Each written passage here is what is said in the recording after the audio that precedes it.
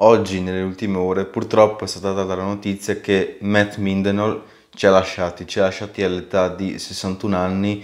Non si sanno ancora le, è, le possibili cause del, del, cesso, non si sa niente a proposito, è solo stata data la notizia che purtroppo ci ha lasciati oggi Matt Mindenol.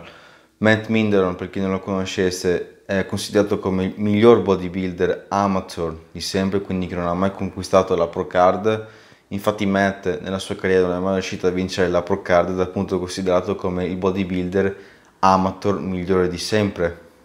Purtroppo, ripeto, non si sa nulla riguardo al suo decesso, non si sa nessuna possibile causa, non si sa se aveva malattie o problematiche varie, fatto sta che purtroppo oggi ci ha lasciati.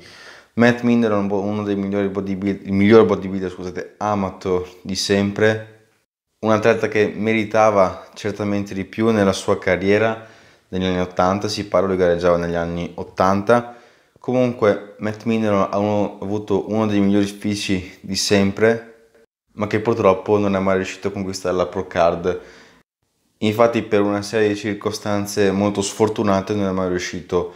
In, in un'occasione aveva avuto un incidente in macchina e quindi è dovuto stare fermo ai box per un periodo alcune volte arrivava in gara in una condizione un po' acquosa per il jet lag accumulato con i vari viaggi delle gare e in molte gare è arrivato secondo, una su tutte una gara con Lee Haney. Infatti, in, quando Lee Haney era ancora amateur, era un rivale di Matt Minden, lo si può vedere qui in questa foto, un Lee Haney giovane. Questa è una gara del 1982-81, quando appunto Lee Haney era ancora un amateur.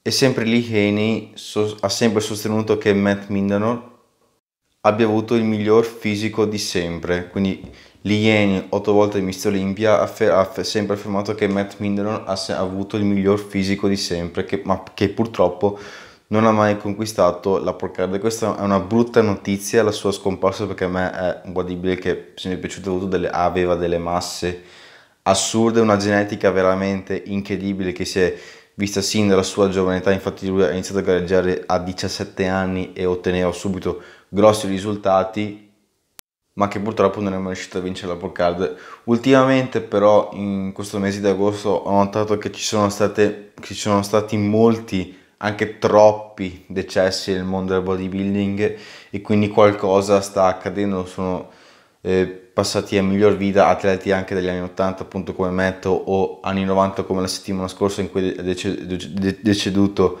Phil Hernon Recentemente anche sono decedute al- alcune atlete eh, femminili e anche due settimane fa è deceduto me- eh, scusate, John Mindowns.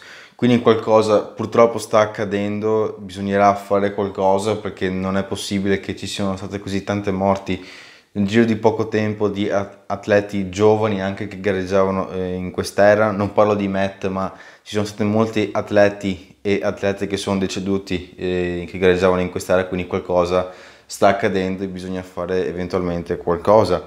Comunque, purtroppo oggi ci ha lasciato Matt, non si sa ancora niente, ripeto, sulle possibili cause del decesso, appena si saprà qualcosa lo comunicherò magari nella sezione eh, community.